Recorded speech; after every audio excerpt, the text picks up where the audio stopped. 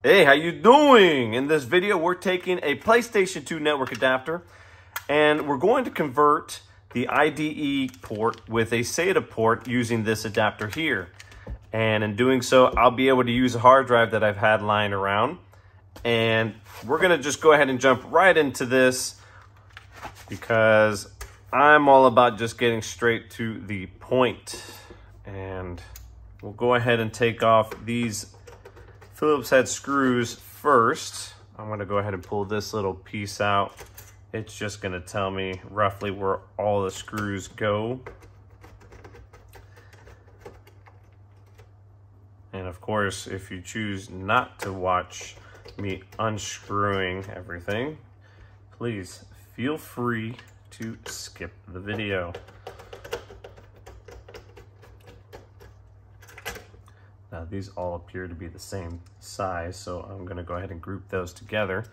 The next two appear to be much smaller, so we'll drop it down to a zero. And that looks like it's going to work just fine. Yes, yes it is. Okay, we'll take off that one. That one's a bit of a longer Phillips head screw. And we'll do this last one here. And theoretically speaking, we should now have the ability to pop off this plate here. There we go. We'll go ahead and set that off to the side and see what we are working with. So this adapter is essentially going to replace this right here. And it appears we have a ribbon cable off in the back that we will more than likely have to undo. But yes, Yes, that is what's going to happen. Looks like it did come with a set of instructions.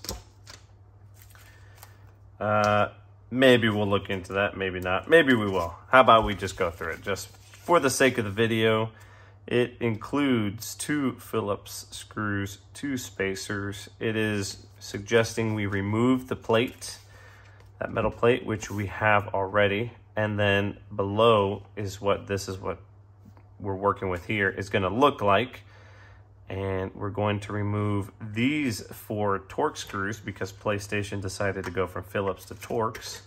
I believe that's a T7. And then after that, we'll remove the IDE circuit board. And we'll read the rest once we get to that spot. Once we get to that point, we'll go ahead and read the rest. I believe, off the top of my head, it is a T7, and it indeed is. So let's go ahead and remove it. Excellent.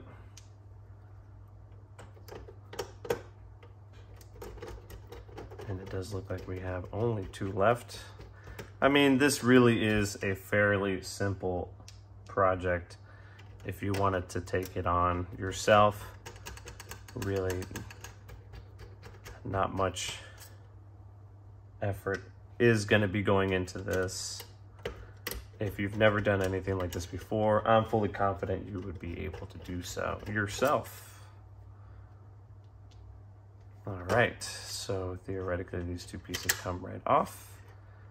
And it doesn't appear to be held by anything else, just making sure. So I'll go ahead and pull it up.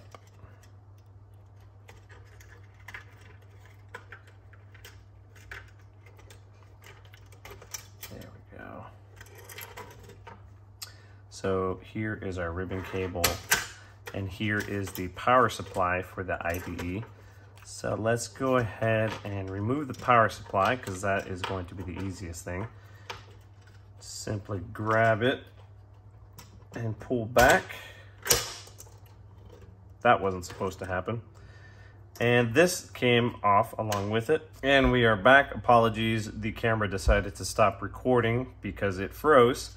So we are continuing on. The spring that just popped out, it does just go right here on the far right hand corner where that post is. We're just gonna place that back here. We're gonna take these two pieces and set them aside. However, before we do that, you wanna go ahead and take that cable off and we're going to reuse it on this adapter here. I'm probably gonna hang on to those two other pieces just in case. I mean, it is pretty hard to find original pieces for games that are getting older now. And you never know if you need it or not. So let's go ahead and place this on.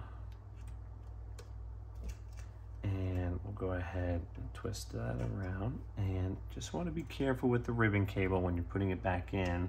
Looks like it was pushed back in. You want to pull this black retainer back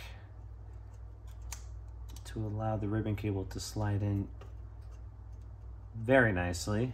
And while pressing up against the ribbon cable carefully, it is delicate, you want to push that black retainer back in, which is going to pinch this cable in place. And we've essentially swapped out the IDE for SATA connector. The next step we're going to do is take two of these spacers because that is what it is calling for. Let's go ahead and place this board back in. It just gets pinched by these two clips on the side and make sure it is nice and flat and all the holes are aligned so when we go back to screw in the Phillips head screwdrivers, uh, screws, with the screwdriver, it will fit just fine. It did come with these Phillips head screws. They appear to be the exact same length as the Torx. And because I just want to keep this as OEM as possible, I'm not going to utilize the screws that were provided. I'm just going to utilize the original Torx head screws that came with it and, and reinstall them back and before we do so, let's put that spacer there, get ourselves a little organized. We're going to take these two spacers here and place them on the outer edge of this connector here. Okay, where this where this circuit board is, this adapter that we are replacing it with, you want to place the two spacers where the threaded holes are and then utilize the Torx screws to fasten them in place. Now what I'm going to do is place both screws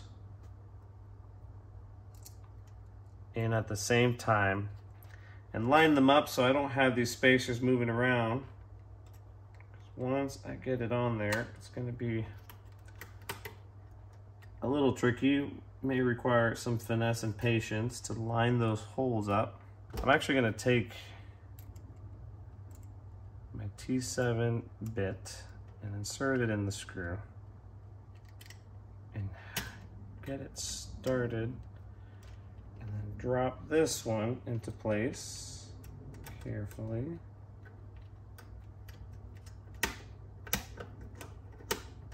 And hopefully I'll be able to get both of them to cooperate.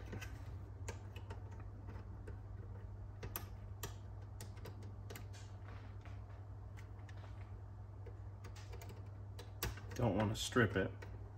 So I'm just taking my time until I feel it. And I'm going to repeat the process over here. And we appear to be golden. Excellent. I want to back this one out just one more time, make sure it feels as if it's been set in place and firmly tighten it back. Okay, double check, I'll work over here. And we are all set. Everything appears to be perfect. It does look like it came with a spare spacer there, but we're not gonna use that. We'll actually put it back in the little baggie. I am going to reinstall the other Torx head screws in the original spot where the IDE power connector was, so I don't lose them. And it may be a good idea for you to do the same thing if you choose to. And we are pretty much all set with that. I'm just going to place these spare screws back in the baggie so they don't get lost because they don't appear to be magnetic. So I don't know what these are made of. and now we're going to go ahead and take our plate and just place it back on like so. Hopefully everything fits. Doesn't look like it does just yet, let's see. There we go. That is a wonderful fit. I'll go ahead and start those two. These are the skinniest Phillips head screws, if you were curious. And those were a size zero Phillips head. Go ahead and fasten those down. That should hold the plate down for the most part.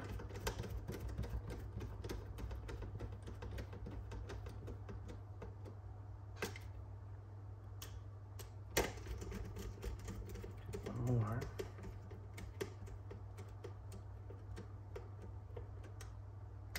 Excellent. We're gonna switch over to a size two Phillips head.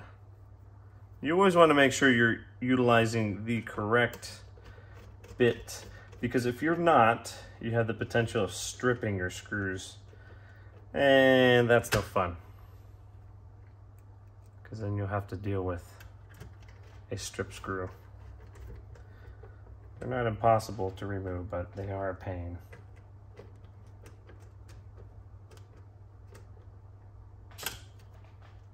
As far as how tight I'm securing the screws in place, I'm honestly just going by feel. You obviously don't want to go too tight where you break the board or crack it. You don't want to be too loose either. Just honestly, Hard to tell. Just use your better judgment.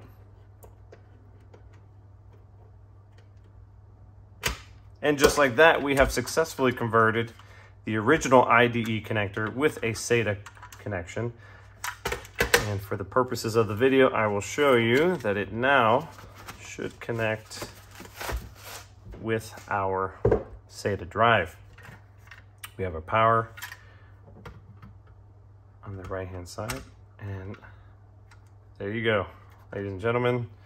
It is all set to go. And I will go ahead and take it a step further and move all this out the way and grab myself my PlayStation 2.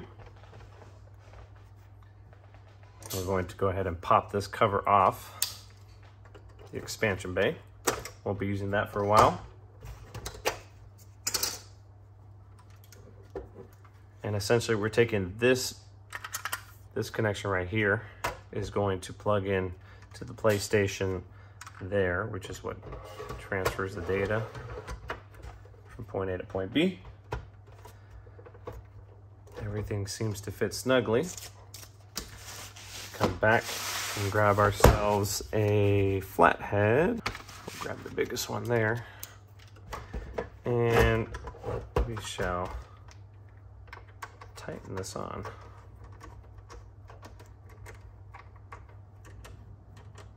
Now, if you know, you know the reason why I'm doing this. If you don't, well, it's not that you can't use an IDE drive to install the McBoot. However, I chose to go with a SATA because it's what I had on hand and it is what I'm going to utilize to install free McBoot. And if you're interested in seeing that video, just leave a comment down below. Thanks for watching, and I'll catch you in the next video. Take care.